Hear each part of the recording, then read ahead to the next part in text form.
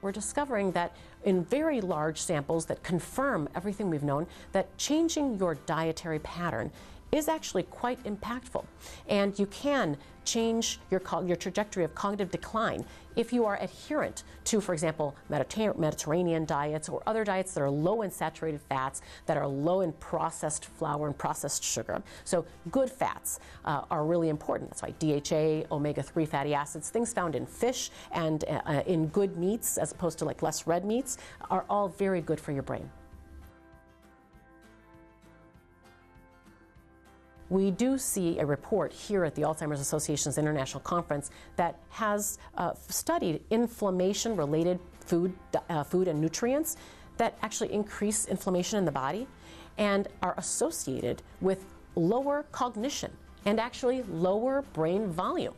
So, people that perhaps eat a lot of junk food um, and processed foods may end up having less cognition over time as they age and actually smaller brains. That's critical to think about.